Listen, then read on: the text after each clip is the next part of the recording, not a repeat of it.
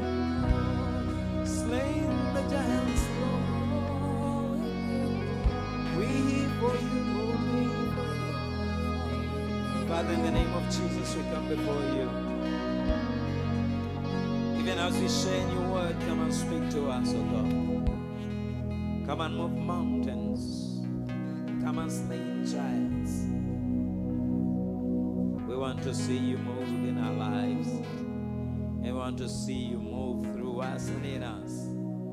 We thank you. In Jesus' name we pray.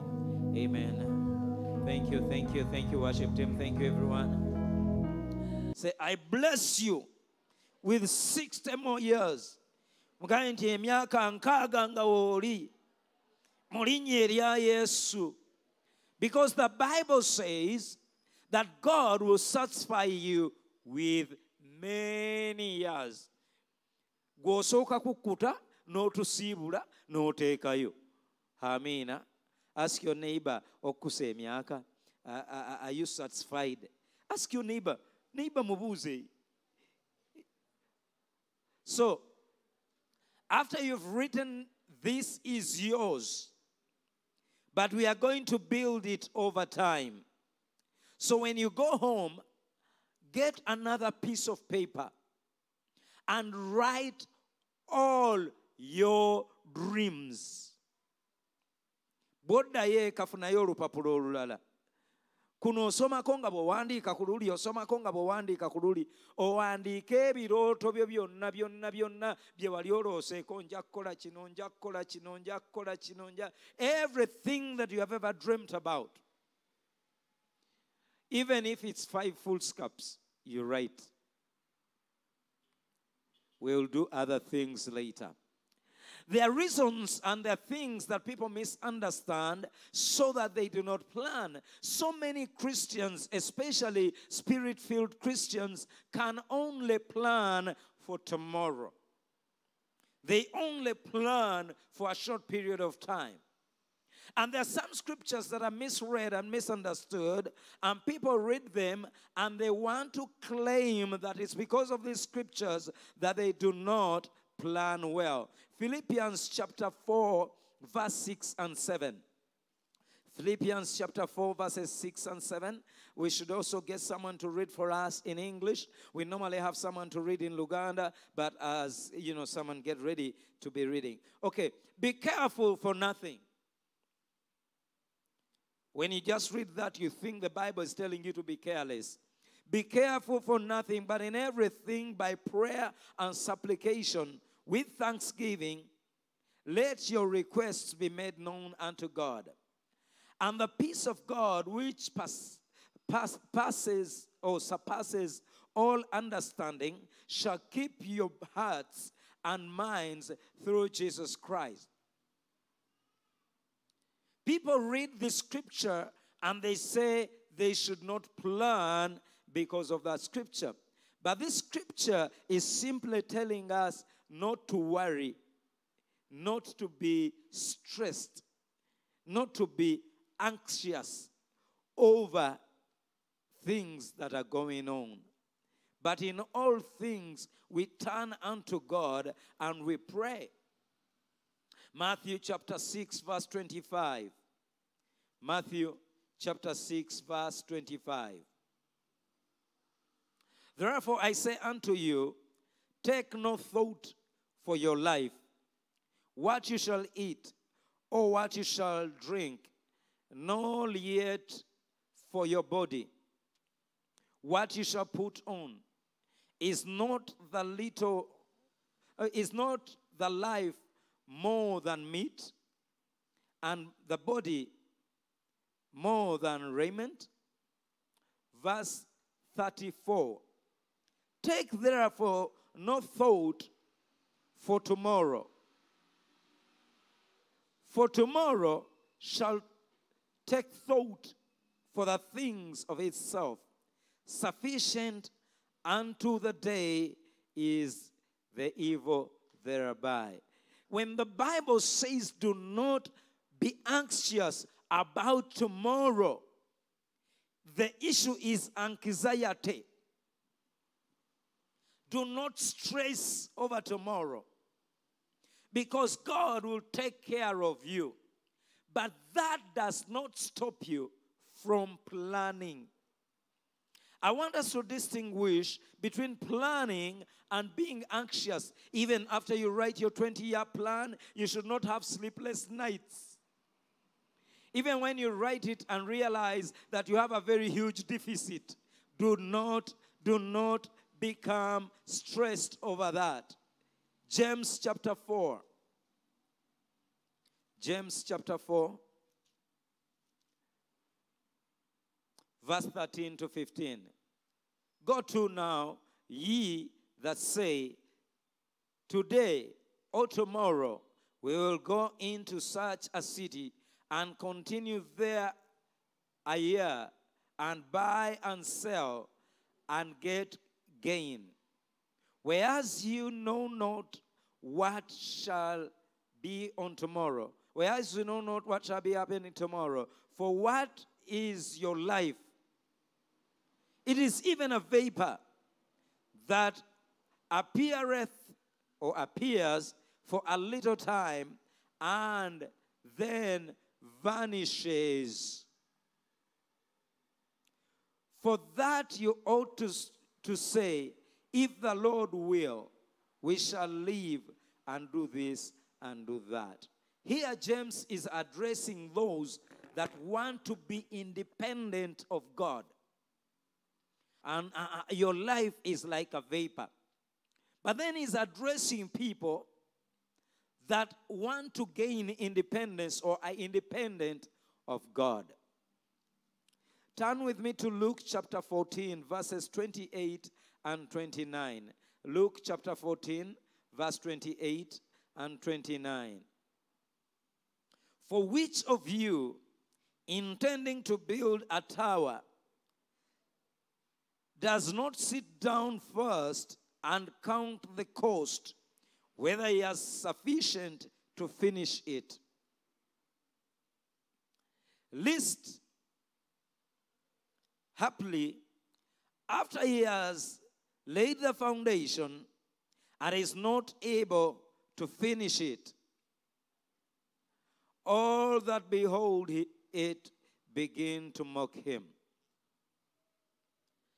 Jesus is saying that if you're going to build anything, sit down and first count the cost. So Jesus is encouraging you to sit down and count the cost for the project that you're going to do. Now, 20 years is not a long time. This church is 20 years old. 20 years is just like yesterday. Now you begin to build, you look at 20 years, then you break it into two tens, then you break it into five. Five, five, five. Then you put landmarks within the next five years. Then you begin to pull the five into one. Then you look at tomorrow. What are you going to do tomorrow that is building into your 20 years? Eh? 20 years from now. Amen? So Jesus is encouraging us. Genesis chapter 13, verse 14. And the Lord said to Abram, after Lot had separated from him, Lift your eyes now and look from the place where you are, northward, southward, eastward, and westward. For all the land which you see, I give you and your descendants forever. How did Abraham see the entire country? We say that when we are looking at vision, we look with our imagination. otunula n'okufumiintiriza ibulayimu tayinza kulaba eggwanga eririna obugazi bwa kilomita 125 obuwanvu bwa kilomita 4 no one can see 420 kilometers and see a width of 125 kilometers But he saw with his eyes and saw with his imagination as we defined vision.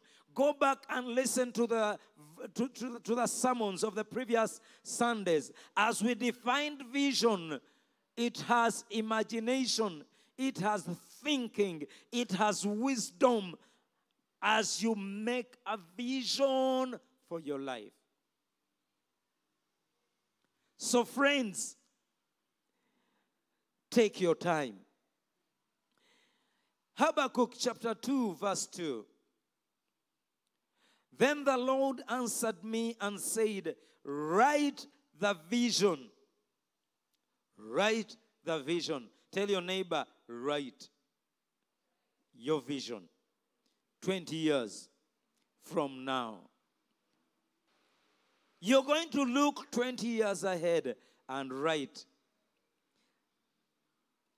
Write the vision and make it plain on tablets. Now, for us, we are, use, we are not using tablets, but we have tablets now. Make it plain that he may run who reads it. Verse 3 For the vision is yet for an appointed time, 20 years ahead. Wakyaliyo ekiseera but at the end it will speak. Your vision will speak. Let me assume your vision is to use the other plot that you have on bombo road and build a market. Your vision will speak when that market is built and you show up and everyone sees the market master begin to talk to you like they're talking to a king. The vision will speak. The vision will speak. A time is coming when what you have as a dream is going to be reality and it's going to be speaking. When in your village you have the best house, and whoever wants to get direction, they tell them when you get to that house, actually, that house belongs to Mulokole. The vision will speak, and it will not lie. Though it tarries, it's going to take some time. Wait for it, because it will surely come to pass it will not tarry. Tell your neighbor you are going to make it. gamba muliraanu oli muwanguzi era ogenda kuwangula. Ebirooto byo bijja kutuukirira. Haleluya haleluya tell your neighbor one time you're going to sleep in my guest wing it will not tarry, it will come to pass. Now, I want us to see these few things as we close today. I want you to ask yourself, what kind of person will I be? What will be my character? What kind of person will I be? When you begin to own factories, will you be able to be an usher in church? Will you continue to sing in the worship team? Will you continue to be yourself? Or you will say, Excuse me? Who are you talking to? Character. Money brings out who you are. So you had better deal with who you are now as the money comes because it's already coming. I'm going to serve you. When you go to Haggai Institute in Hawaii, the person that sponsors you, they buy your ticket, your return ticket, they sponsor you with a minimum of $10,000. That person that sponsors you is the one that makes your bed for the one month that you're going to be there. Character, deal with the character. What kind of character? Now, what accomplishments? The next 20 years, what do you want to have accomplished? oyagala kubanga mu myaka abiri agajja you, you're going, you, you don't have to write right now but i want you to think along those lines as you, as you, as you write this down what will you have accomplished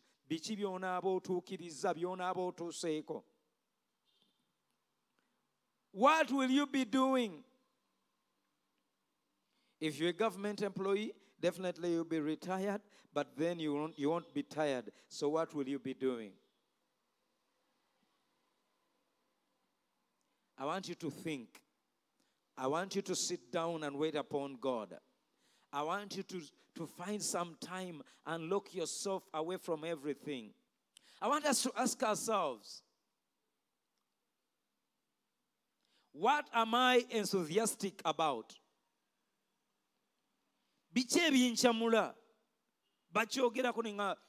"Eh, what are those things those are things that you have to areas that you have to look into what have i always wanted to become most of you know my story when i was in my p2 vac we got a neighbor coming in I didn't know he was a fresh graduate from Makerere University with a bachelor's in civil engineering, BSc. So we went to greet him. Eight years old. And he asked me, What do you want to become? I said, I don't know. He said, The best thing you can become is a civil engineer. And that drove me up to when I became a civil engineer. But for you, I ask you, what have you always wanted to become? What do I do best with least effort? What comes so easy to you with least effort?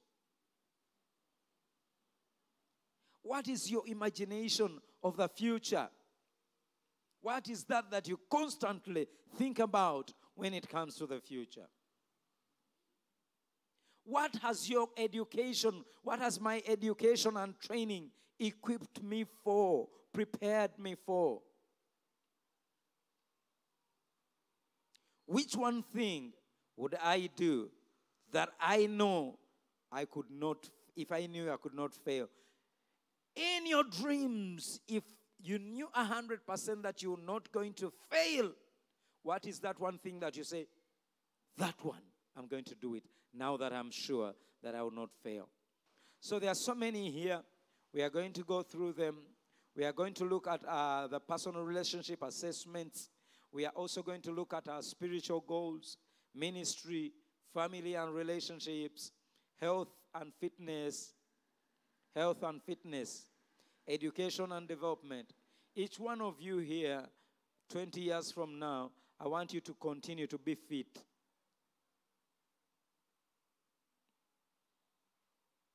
Twenty years from now, I want you to remain fit. We are working on that 20 year plan, 20 year development plan. Our governments have failed at their development plans, but you're not going to fail at yours.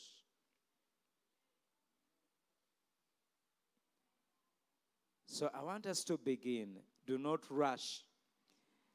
For the whole of this week, I would rather you only go through this and you do not write anything in it. You can write on any other piece of paper, but you do not write anything in it. Close your eyes right where you are and see yourself at that age that you have written of 2044. weeraba personally i will be 75 then do not worry about me My dad is 97 and he can walk from here to Kawempe on his own. So don't worry about me. Worry about yourself. Whichever age you will be, I want you to see yourself there. zibiriza amaaso go gatta emyaka abiri ku myaka gyo nga wakakoona krisimaasi abiri ne isita abiri ne bathida abiri I declare that you're not going to die in the name of Jesus. You will live. You will live. And you see yourself even 50 years from now in the name of Jesus. Raise both of those hands right now. Father, in the name of Jesus, I declare your blessing upon your people. Let your mighty hand rest upon us, O God. Provide, O King of glory. I declare that those hands have the power to create wealth. In the name of Jesus, let them be hands that build. Those hands are going to build an empire for the owner in the name of Jesus. And they're going to build people. And they're going to strengthen the weak. In the name of Jesus, I declare great thoughts that everything you think about will be an idea from God that will solve problems. In the name of Jesus, let the glory of God shine upon you and shine upon your path all the days of your lives. I declare there will be no accident in your life in the name of Jesus. You will never be in a wheelchair in the name of Jesus. But God will strengthen you and God will establish you. And the next 20 years are going to be years of greatness. Father, we thank you. In Jesus' name we pray. Amen. kyukira akuliraanya mugambe nti emyaka abiri egiddako nga wooli ng'oli w'amaanyi ng'okulaakulana ng'oyimusibwa buli kaseera ebirooto byo nga bituukirira mu linnya erya mukama waffe yesu. Era ekisa kya mukama waffe yesu kristo okwagala kwa katonda n'okusa ekimu okw'omwoyo mutukuvu bee naffe ffenna n'eri abooluganda bonna emirimu egitaggwawo amiina